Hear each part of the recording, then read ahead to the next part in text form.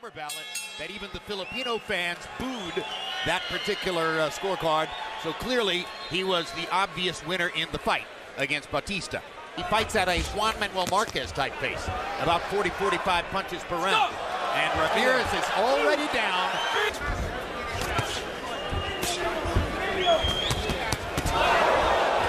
Great combination by Lomachenko.